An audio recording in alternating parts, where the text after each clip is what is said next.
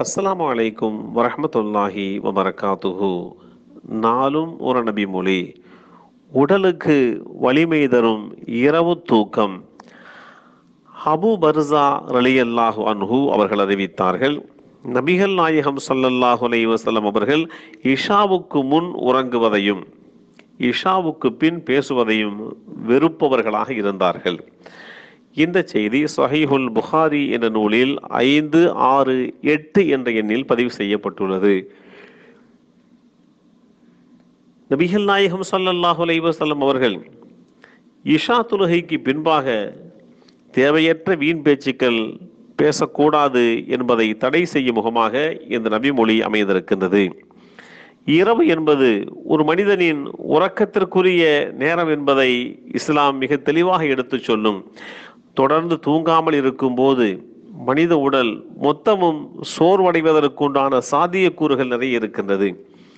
யோசிக்கிற பேசுகிற அனைத்து விஷயங்களிலேயும் மனம் நிலை கொள்ளாமல் தத்தளிக்கின்றது. உடலை மனதை புத்துணர்வளித்து புதுப்பிக்கக்கூடிய பணியை இரவு தூக்கம் ஒவ்வொரு மனிதர்களுக்குமே தருகின்றது. பகல் உழைப்பதற்கான நேரமாகவும் இரவு உறங்குவதற்கான நேரமாகவும் அறியப்படுகிறது.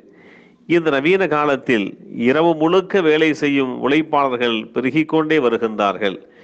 இரவு பத்து மணிக்கு படுத்து காலை ஐந்து மணி வரை உறங்குவதற்கு பதிலாக அதே ஏழு மணி நேரத்தை பகலில் தூங்கினால் என்ன என்பது பெரும்பாலான மக்களின் கேள்வியாகவே இருக்கின்றது.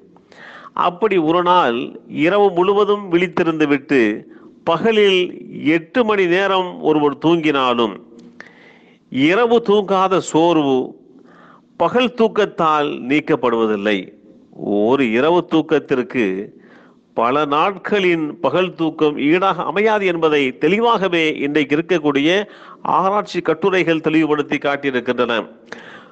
இரவில் தூங்காத உயிரினங்களும் உதாரணமாக நாய் பூனை போன்ற இந்த விலங்குகள்.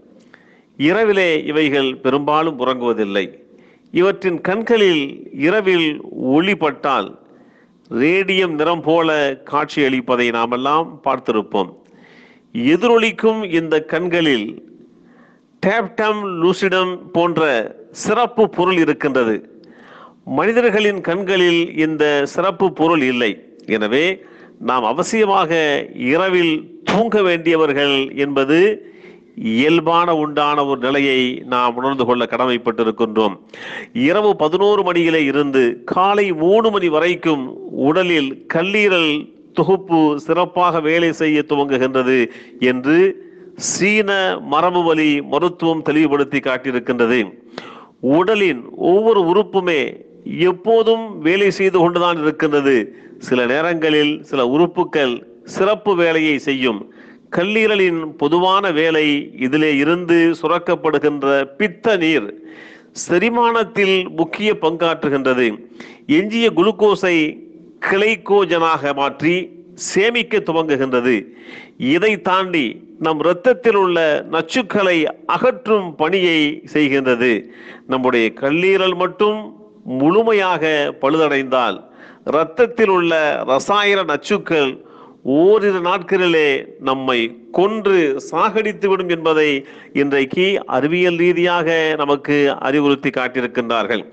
அந்த அளவிற்கு நாம் பயன்படுத்தும் உணவுகள் இருக்கின்றன. நம் எதிர்ப்பு சக்தியினுடைய அடிப்படை வேலைகளை செய்வது கல்லீரல் தான். நச்சுக்களை அகற்றும் இந்த வேலையை இரவில்தான் கல்லீரல் செய்கின்றது. இரவு பதினோரு மணிக்கு துவங்கி அதிகாலை மூணு மணி வரையிலே நச்சுத்தன்மை அகற்றுகின்ற பணிக்காக வேண்டி அந்த நேரங்கள் எடுத்துக்கொள்ளப்படுகின்றது பகலில் நாம் உண்ணக்கூடிய உணவுகளை ஜீரணிப்பது முதல் பல வகையான வேலைகளை இரவு காலகட்டங்களிலே நம்முடைய உடலில் பல விதமான பொருட்கள் செய்து கொண்டிருக்கின்றது. எனவேதான் இரவு உறக்கத்திற்கு உண்டான நேரம் என்பதை இஸ்லாமிய மார்க்கம் தெளிவுபடுத்தி காட்டியிருக்கின்றது. எல்லாம் வல்ல அல்லாஹு தாலா அமானிதமாக தந்த இந்த உடலை ஆரோக்கியத்தோடு வாழ்வதற்குண்டான கட்டமைப்போடு வாழ்வதற்கு வாழ அருள் புரிவானாக. அஸ்லாம் அலைக்கும் வரமத்துல்லாஹி வபரகாத்துஹு.